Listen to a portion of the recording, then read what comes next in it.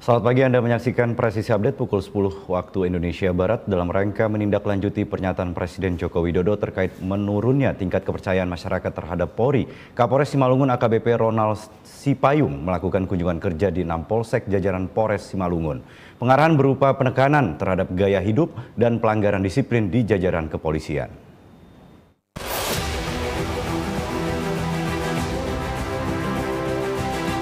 Dimulai dari Polsek Serbaluan, Polsek Raya Kahean, Polsek Silau Kahean, Polsek Dolok Silau, Polsek Saribu Dolok, dan Polsek Purba, kunjungan kerja dilakukan dalam rangka pengarahan Kapolres Simalungun.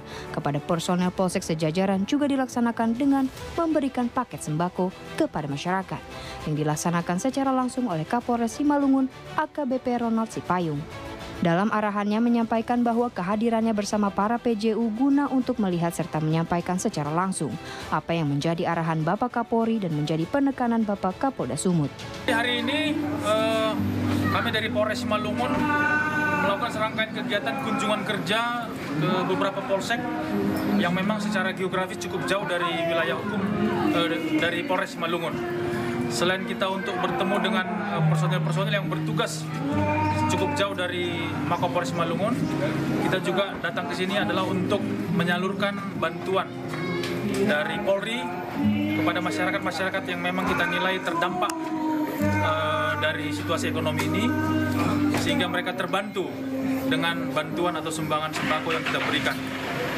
Dan selanjutnya kita berharap untuk jajaran Polsek Raya Kahian untuk selalu siap melaksanakan tugas dengan baik, melaksanakan apa yang disampaikan oleh Bapak Presiden dan disampaikan oleh Bapak Kapolri serta Bapak Kapolda untuk tidak uh, melakukan hal-hal yang menyimpang, tapi memberikan uh, manfaat bagi masyarakat dengan kehadirannya, dengan respon terhadap uh, permasalahan, sehingga masyarakat merasa Polri ada hadir dan bermanfaat bagi masyarakat.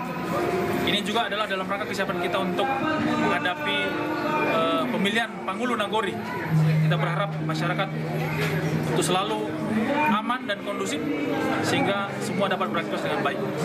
Terima kasih kepada Pak Kapolsek dan Pak Lurah yang selama ini sudah uh, bersama-sama bahu-membahu dalam menjalankan tugas untuk memberikan pelayanan kepada masyarakat. Semoga situasi ini tetap dapat terjaga dan uh, terbina dengan baik. Kapolres pun menegaskan bahwa Polri setuju dengan penekanan Presiden Jokowi soal sejumlah hal yang menurunkan tingkat kepercayaan masyarakat, seperti apa yang telah ditegaskan oleh Bapak Kapolri dan menjadi penekanan Bapak Kapolda Sumatera Utara antara lain terkait gaya hidup, pelanggaran disiplin, narkoba, dan judi online. Arahan Presiden Joko Widodo kemudian ditindaklanjuti untuk langkah tegas termasuk pemberantasan judi online, pemberantasan narkoba, dan tindak kejahatan yang meresahkan masyarakat.